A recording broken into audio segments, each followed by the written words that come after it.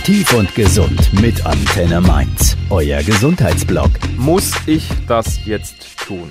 Dieser Satz kam so gut bei euch an, dass wir viele Fragen zum Thema Stress und Zeitmanagement bekommen haben. Oftmals kam der Wunsch nach einer konkreten Übung, um Stress abzubauen bzw. mal nicht nachzudenken. Viele von euch stehen unter Dauerstress und die Gedanken rattern von morgens bis abends. Uns fällt es mittlerweile immer schwerer abzuschalten und die Freizeit mit Freunden, Familie oder unseren Kindern zu genießen. Oftmals leiden wir auch unter Einschlafproblemen, da der Kopf keine Ruhe geben möchte.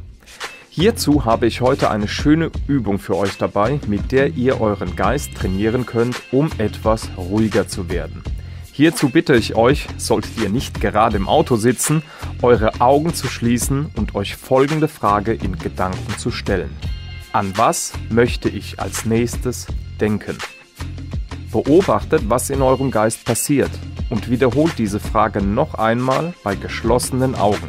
An was möchte ich als nächstes denken? Ihr werdet feststellen, dass ihr ein paar Sekunden lang an absolut nichts denkt und einfach mal im Hier und Jetzt seid. Dies könnt ihr super machen, wenn ihr abends nicht einschlafen könnt oder einfach mal Ruhe braucht und ihr werdet merken, dass die Zeit der Leere irgendwann immer größer wird. Viel Spaß also beim Nichtstun und Abschalten. Euer Chris Schwarz von Aktiv und Gesund. Euer Gesundheitsblog mit den Fitness- und Gesundheitsstudios Aktiv und Gesund in Mainz und Umgebung. Habt ihr Fragen an Christian oder wollt einfach mehr Infos zum Thema? Dann klickt euch rein auf antenne-mainz.de.